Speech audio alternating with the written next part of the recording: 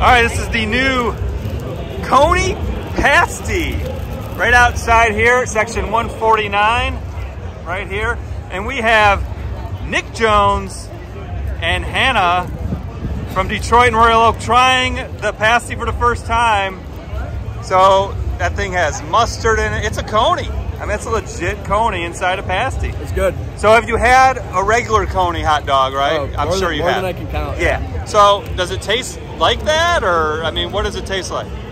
Is it comparable with the taste? Tastes like a coney, but wrapped in like a chicken pot pie. Tastes like a coney wrapped in a chicken pot pie. Yeah, it's like chicken pot pie crust, but it's a coney inside. And it's pretty good. Yeah, it's awesome. All right, nine dollars, not too man. bad. Guess you can put it in your pocket in the bag right there. You can walk around with Yeah. it.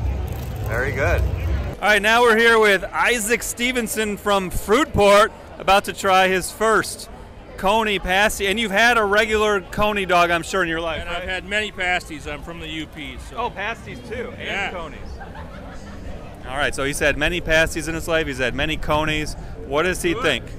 got the sauce in there, the hot dog, mustard. I'm liking it.